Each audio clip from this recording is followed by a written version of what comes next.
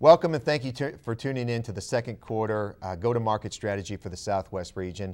This is our opportunity to communicate our regional plan for the quarter and a great chance for you and your team to really get aligned with what we're going to do, how we're going to go to market, and how we're going to get the job done for the quarter. With me, I've got three people that I want to introduce. First, Alan Taylor from Ford Credit. Alan, thank you for being here. Thanks, Dave.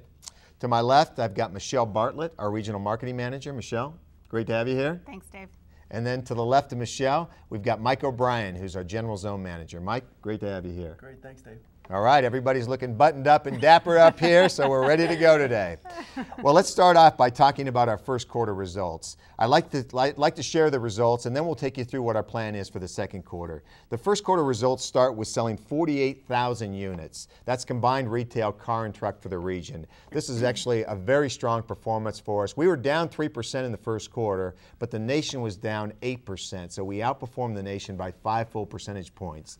We were basically down 1,500 units year over year, and it was all F Series. Half of those were Super Duties, and that was mostly due to availability. The other half was F-150, and that's really due to some softening in the market, but we've got to strengthen our position as we go forward, and we will rekindle those 1,500 units as we go through the rest of this year, and our plan is to start picking those up in the second quarter.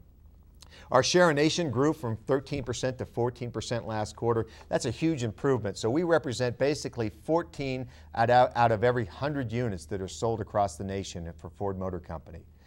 Defending full-size uh, F-Series uh, sales and share in the marketplace is a key initiative for us, and our F-Series uh, share of the nation grew to 21% last quarter.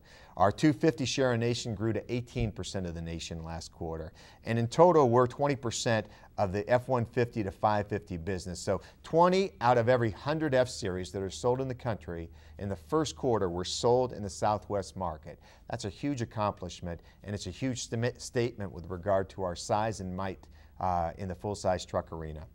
Dealer profitability, great news on this front. Through February, we were up 24% in dealer profitability. 24%, that's a huge movement for us considering we were up 27% last year.